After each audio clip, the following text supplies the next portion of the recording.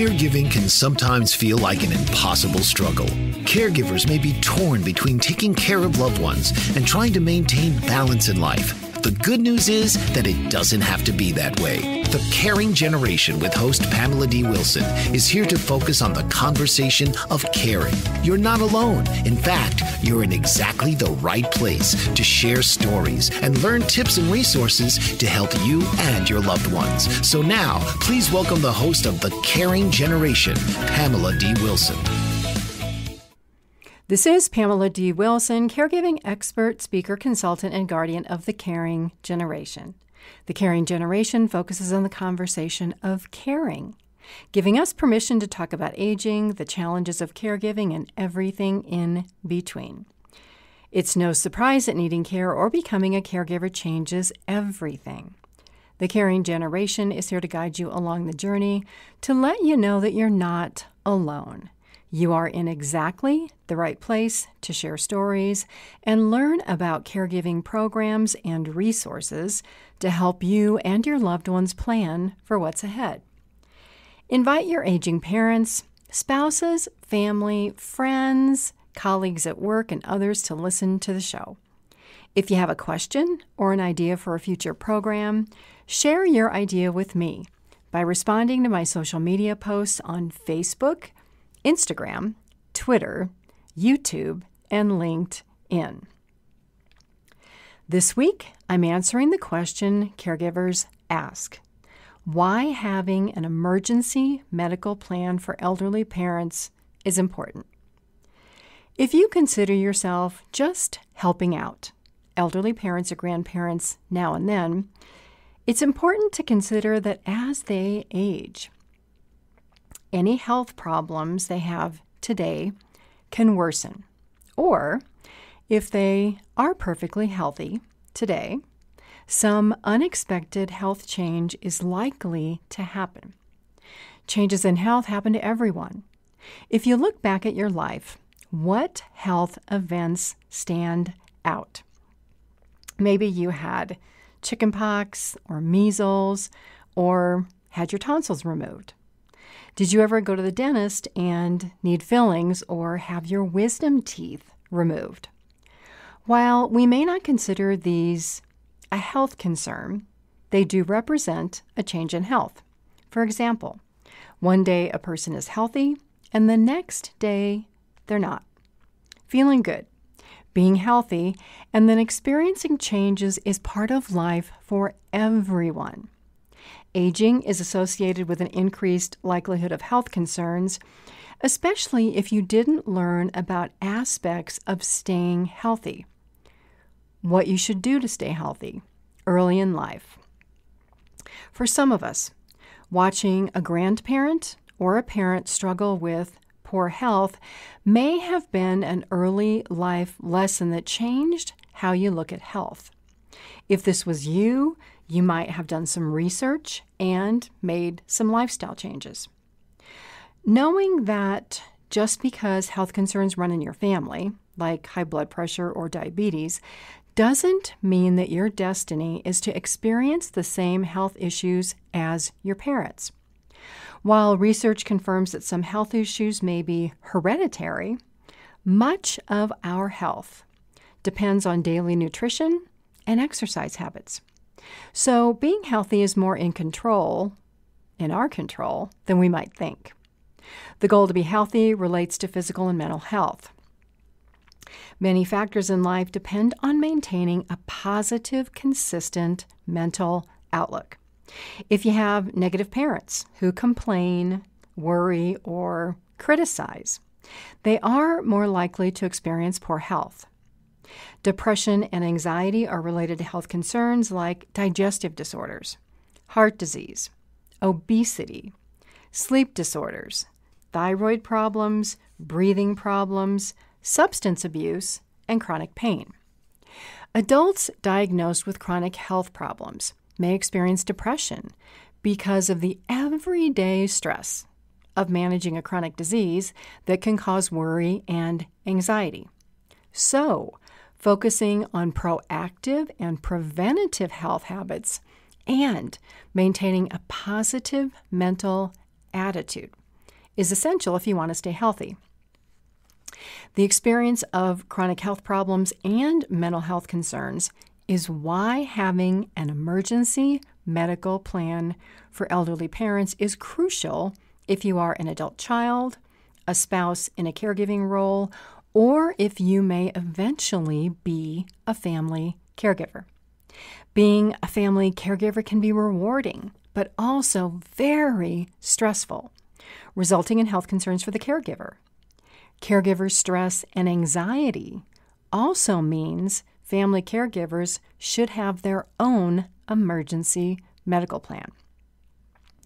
Think of an emergency medical plan as a backup plan to make sure that you, an aging parent, or a spouse get the care you need in the event of a sudden or unexpected change in health or a hospitalization.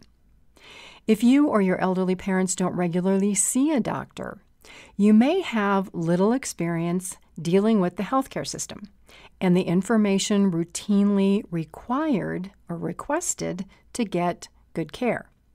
Likewise, if you've never visited anyone in the hospital or a nursing home, you may have no experience with these healthcare environments. So, in a sense, navigating healthcare by working with doctors, nurses, and other personnel may feel like visiting a foreign country where the residents don't speak the same language. The healthcare industry definitely has its own language. They have terms and acronyms that they use that most consumers don't understand unless you stop the person speaking and ask a question. Navigating unfamiliar territory is critical for creating an emergency medical plan for elderly parents or yourself. You don't know what you don't know, and maybe you don't even know the questions you should be asking. So, having basic information at your fingertips can reduce the moment's stress and allow you to focus on what is most important. Supplying information to help your loved one receive a health diagnosis and a treatment plan. So, let's review why having an emergency medical plan for elderly parents is important, plus the information you want to collect so that you have it readily available if mom or dad has a sudden change in health. If you currently attend doctor's appointments with elderly parents, or if you attend routine doctor appointments for yourself, think of the information you supply every time you visit. The person at the front desk usually hands you a clipboard and wants you to verify your identification and health insurance. One of the first steps in creating an emergency medical plan for elderly parents is to make copies of their health insurance and identification cards. For elderly parents, begin with copying, scanning, or taking a photo of a driver's license or a state ID with a photograph that you can print. Then make copies of both sides of health insurance cards, which can be a parent's red, white, and blue Medicare card or another insurance card, like AARP Secure Horizons, Kaiser, Anthem, TRICARE, or another alternate insurance provider. If you are a parent's agent for medical durable power of attorney, you'll want to send that document to the health insurance companies so that you can speak to them in addition to your parent. We'll talk more about the importance of having legal documents to manage health care later in the program. What other questions does the staff at the doctor's office ask? For example, they want to know what medications and supplements your parent takes. The easiest way to provide this information is to write or type a list that you can keep and that your parents can keep in a wallet or purse. Make sure to include all of the over the counter supplements. These might be products like multivitamins, vitamin C, Advil, aspirin, even Metamucil. Including over the counter items on a medical list is essential because sometimes non prescription products, can negatively interact with prescription medications. Know that elderly parents who don't take their medications as prescribed, or they may forget, is one of the main reasons for hospital emergency room visits. So, if your parents are struggling to order, pick up, take, or set up their prescription medications, this is one area where family caregivers can assist. If you go to the pharmacy to pick up their medications somewhere nearby on a shelf, you'll find weekly plastic medication boxes marked with the days of the week, and then options for morning, noon, afternoon, and bedtime. There'll be slots for those. Family caregivers can pick up medications and then set them up for an entire week or several weeks at a time. Creating an emergency medical plan for elderly parents also includes making a list of your parents' health diagnoses and understanding what these mean. Where do you find this information? Access to an online health portal for a doctor's office will have this information.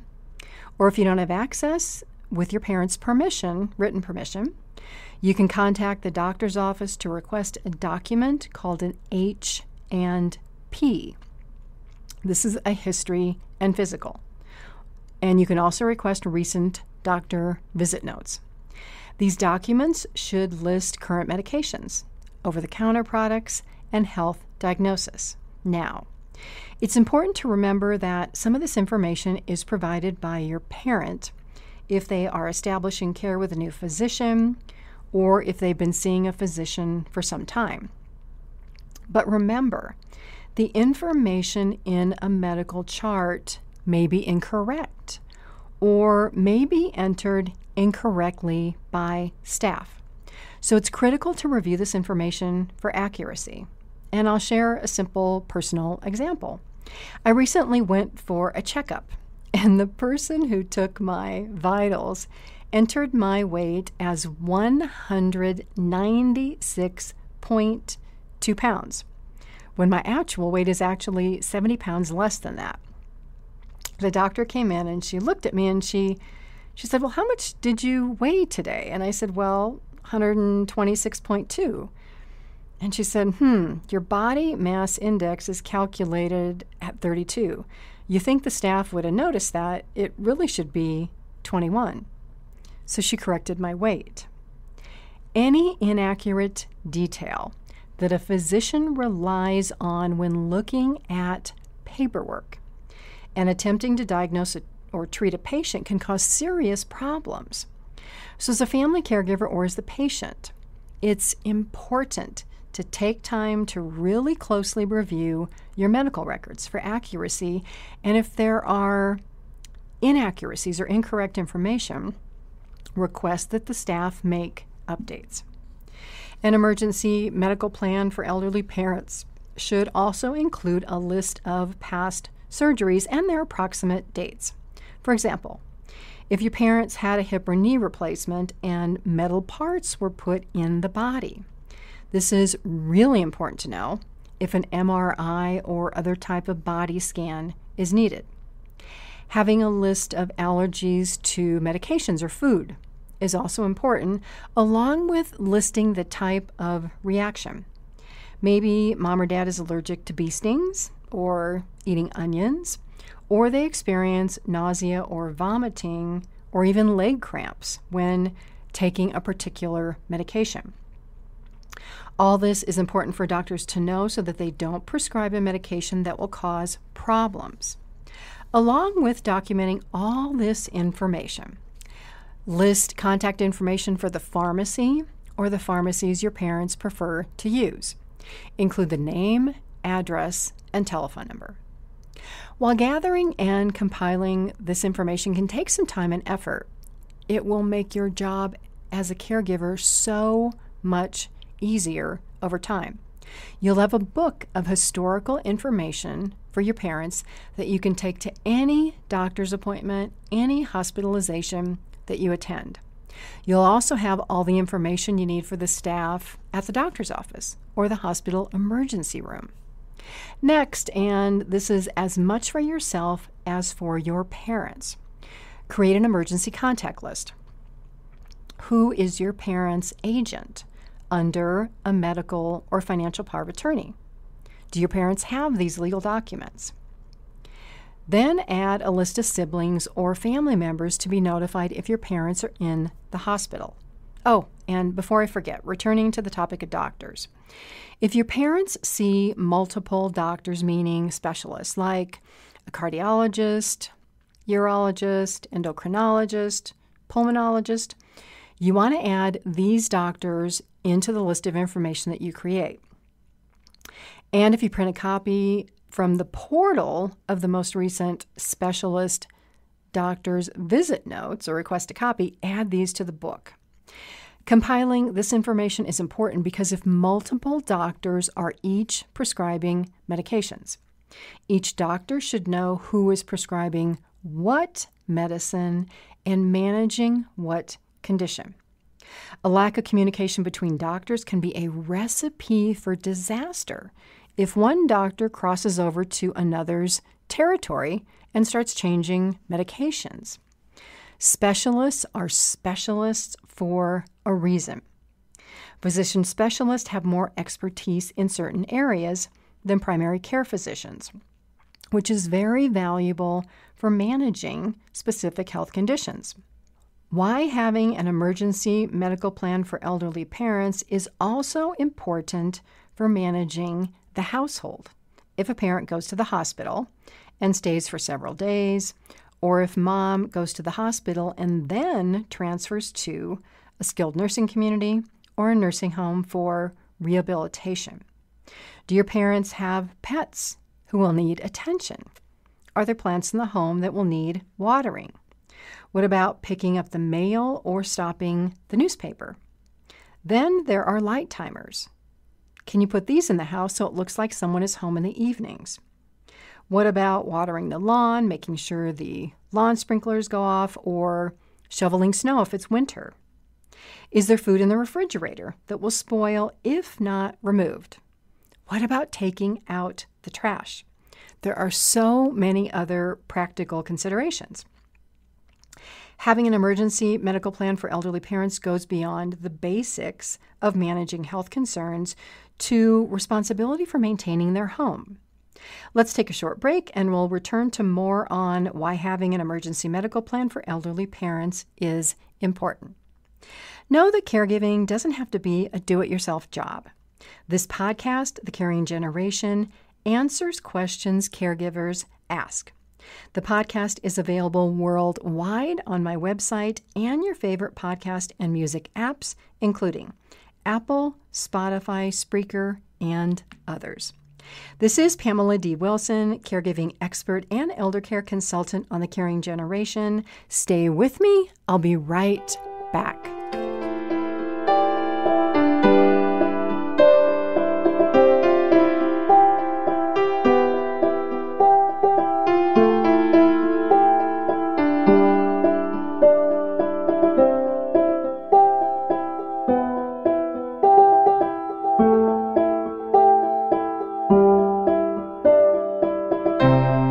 This is Pamela D. Wilson, caregiver expert, advocate, and author on the caring generation.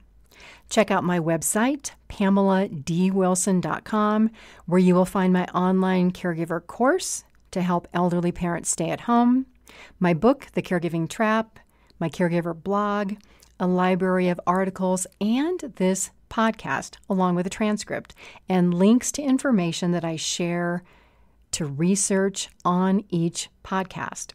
There's something for everyone at pameladwilson.com. Another reason for why having an emergency medical plan for elderly parents is important is if you are a family caregiver who lives at a distance in a different town across the country, maybe out of the country. Or if you can't go to the hospital to visit a parent or visit at a nursing home, then having this information on hand is extremely important because there's no substitute for being what I call on the ground and available during a health emergency for a parent. So, in a perfect world, it's best to take or meet elderly parents at the hospital emergency room if they have to call 911. When anyone is sick or not feeling well, they may not relay information accurately to doctors or other healthcare personnel. Plus, if an elderly parent has any degree of memory loss, extreme pain, and confusion about being in a strange place, which is the hospital, these issues can result in more disorientation and confusion. This is why having an emergency plan for elderly parents on paper is important. If you have all of this information typed or written down and documented, worst case, you can fax it, email it, or find a way to relay, to relay the information to the doctors in the emergency room if you can't be there in person. Then let's talk about the actual hospital stay. Hospital stays are the place for treatment and monitoring if there's a health emergency. But hospitals certainly are not the place for a patient to get any type of rest. There are endless rounds of nurse and staff interruptions to take vitals, blood pressure, temperature, and pulse every four hours around the clock, day and night. Add to this blood draws, making a parent wonder if they will have any veins that have not been stuck with needles. Then IV bags may need to be changed every couple hours. And there's machines in hospital rooms that beep all over the place. So, sleep, while very healing, rarely happens for more than a few hours at a time when a person is in the hospital, which is why your parents may look so exhausted when you see them right? So, as a result, most patients, by the time they leave the hospital, are extremely sleep deprived. Then imagine this while in the hospital. There are always suggestions to, especially for elderly people, to get out of bed for some activity and to walk the halls. Lying in bed for elderly parents for any extended period of time can result in greater physical weakness if a parent was not physically active and strong before the hospital stay. Even the simple act of taking a shower or washing one's hair can be a major physical endeavor that requires scheduling. For example, if your parent has an IV, that has to be disconnected, and then the arm has to be wrapped in plastic so it doesn't get wet. And then, depending on the area where the IV is placed. If it's in the bend of the arm, your parent isn't going to be able to bend their arm to even use that arm to shower or wash their hair. Now, if you're a family member, you can offer to assist a loved one to take a shower if they're physically not at risk of falling. Otherwise, the CNAs in the hospital can do this, but you have to schedule it. You have to ask for it, right? Another important reminder don't take or leave any important personal belongings at the hospital that can become lost or stolen a purse, hearing aids, dentures. All these things can easily disappear. So, what this means is that while an elderly parent receives treatment in the hospital for a specific medical concern, mom or dad may be in a weaker physical condition when they go home or if they discharge to rehab before going home. So it's important to have a plan for a loved one to be discharged from the hospital or skilled nursing or to go home, which is another reason why having an emergency medical plan for elderly parents is critical. If your parent is still physically weak when returning home, what's the plan? Will you or another family member or a friend stay with mom or dad at their house for several days to avoid the risk of an accident and your parent returning to the hospital. While it may be hard for healthy family caregivers to imagine, health conditions that result in hospitalizations can really result in serious setbacks for elderly parents in for poor physical condition, those who have a lot of diagnoses, or even those diagnosed with memory loss. If you live far away, who will pick up their prescriptions and groceries so that they have something to eat when they go home or have the ingredients to even make a meal? Is your parent physically safe to bathe alone without experiencing a fall or an injury? If they have pets, can they take care of the pets? When creating an emergency medical plan for elderly parents beyond a hospitalization or a nursing home stay, there are so many things to consider.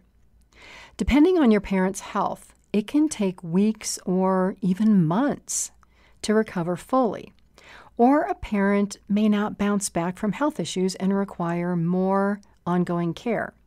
So, for example, let's say your parent breaks a hip.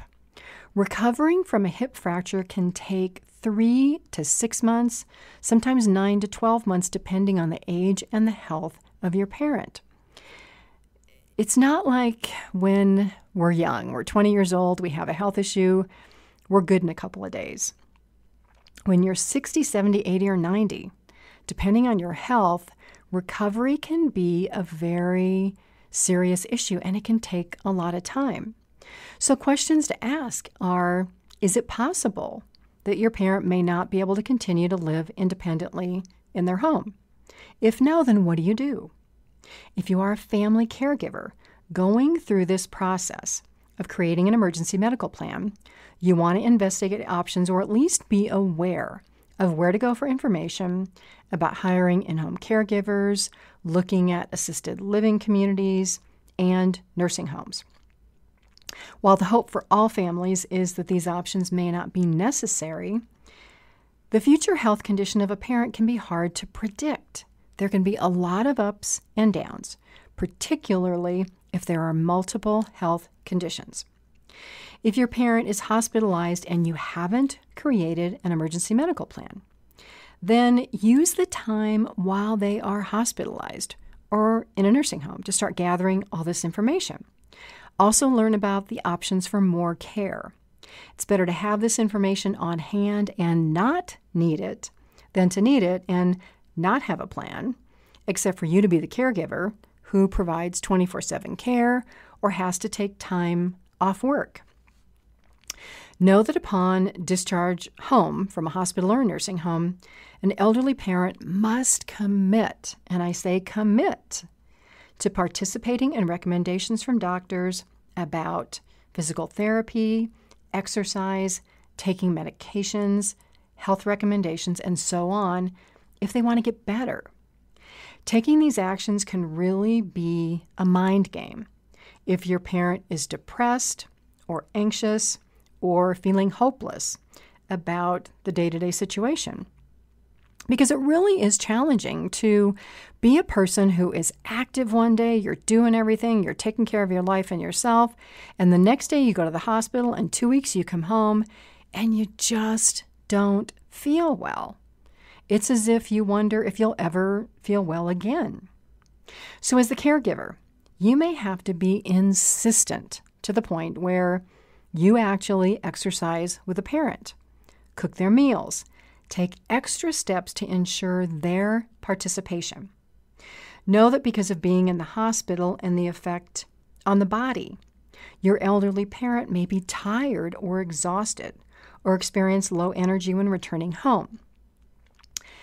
There's always a recommendation for a follow up medical appointment that should be scheduled as soon as possible after returning home with a primary care doctor or a specialist so that they can do a checkup, run some blood work to ensure that levels in the blood are maintained or that they're returning to normal levels.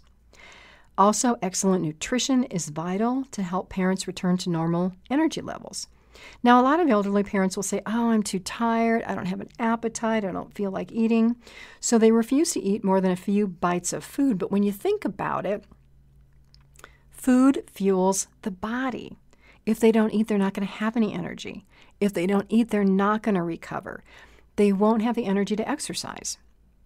Physical activity, exercise, as challenging as it may be, is one of the ways to improve energy levels and to improve appetite. A hospital stay can truly be life changing for a person of any age. A commitment to physical effort and positive thinking is really required for having a full recovery. So, what else remains on the list for why having an emergency plan for elderly parents is important? The obvious is to make an effort each day to improve and maintain health so that if a sudden change in health occurs, the long term effects won't be as life changing. Then, along these lines, is the importance of establishing regular care with a physician who can get to know you and your elderly parents. Regular means seeing a doctor each year for blood work and a checkup so that you know your numbers. For blood sugar, cholesterol, triglycerides, blood pressure, and so on.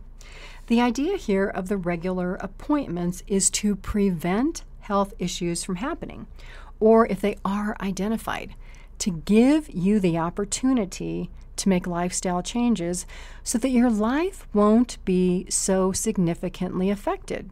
You won't be medically affected. You won't be mentally affected by worrying about managing these health conditions.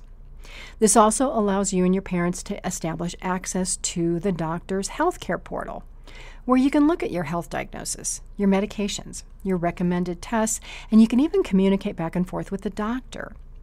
Regular medical care with a doctor you trust is important for adults of all ages, not only elderly loved ones. So, if you or your parents aren't yet established with a primary care doctor for regular care, add this to your to do list and get this set up now. The other item we discussed only briefly is the aspect of having family or others who can help make medical decisions or pay bills if you or a parent is sick.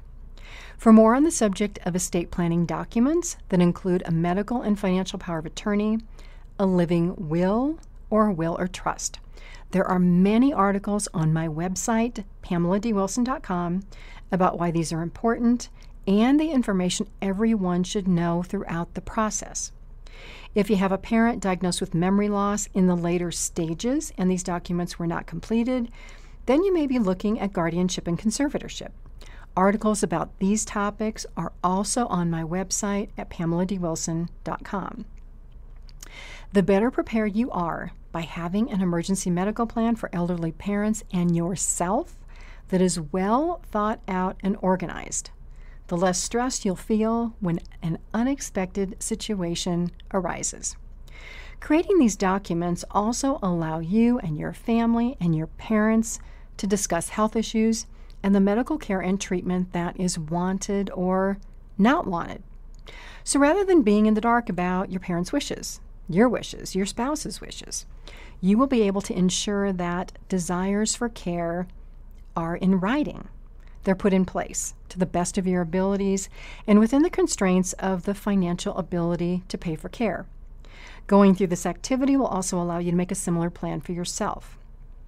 Now, if you're looking for support in caring for aging loved ones or yourself and you want to make a plan, an extensive plan beyond this, there's an extensive educational webinar program on my website that you can watch.